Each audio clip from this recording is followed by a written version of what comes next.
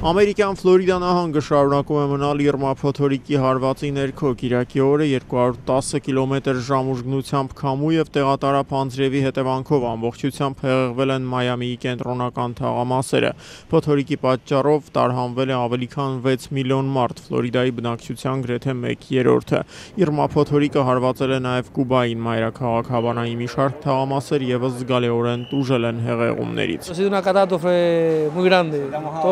Սա մեծ աղետ է ինձ համար, իմ տունը եւ արհեստանոցն ամբողջությամբ անցել են ջրի տակ, ասում է Հավանայի բնակիչ Յարլո Սանչեսը։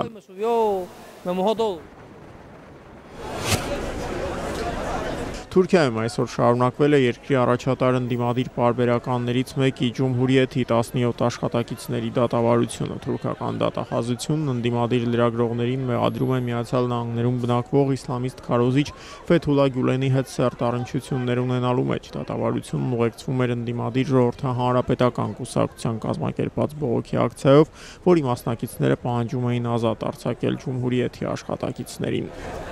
Türkiye'de 180'den fazla gazeteci hapis Ավելի քան 180 լրագրողներ այսօր գտնվում են Թուրքիայի բանտերում, տասնյակ ընդդիմադիր լրատվամիջոցներ փակվել են, հազարավոր լրագրողներ կորցրել են աշխատանքը։ Լրագրողներին ձերբակալում եւ դատապարտում են կառավարությանը քննադատելու համար։ Երկրի հնագույն պարբերականներից մեկն էլ փորձում են լռեցնել շինց ու մեղադրանքների օգնությամբ, այսօր հայտարարում է Ժողովրդի հանրապետական կուսակցության անդամ Բարիշ Յարքադաշը։ her haber nedeniyle soruşturma ve davalara maruz kalıyor.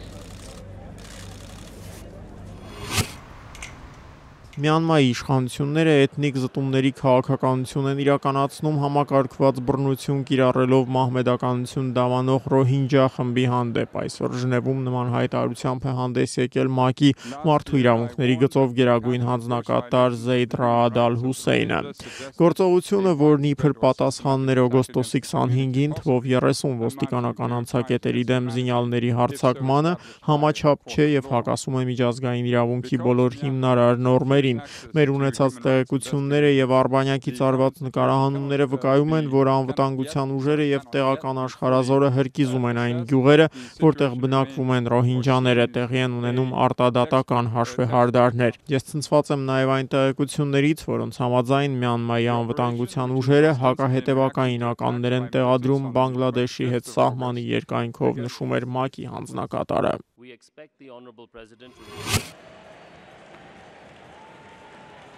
Կիրակի օրը Նյու Յորքում ավարտվել է թենիսի միջազգային ամենահեղինակավոր մրցաշարերից մեկը Միացյալ Նահանգների բաց առաջնությունը US Open-ը։ Տղամարդկանց մրցաշարի հաղթողը ճանաչվել իսպանացի Ռաֆայել Նադալը։ Եզրափակիչում նա համոզիչ հաղթանակ է տարել հարավաֆրիկացի Քևին Անդերսոնի նկատմամբ։ Սա Միացյալ Նահանգների բաց առաջնությունում Նադալի տարած երրորդ հաղթանակն է 2010-ին եւ 2013-ին Նադալը առավելության էր հասել սերբ Նովակ Ջոկովիչի հանդեպ։ Իրականում սա մեծ սաղավ ավարտի շատ էմոցիոնալ այս մրցաշրջանն ավարտելու լավագույն ձևն էր։ Ես ուրախ եմ, թե ինչպես հանդես եկա եւ դիմակայեցի ճնշմանը ողջ մրցաշարի ընթացքում, հայտարարում էր Նադալը։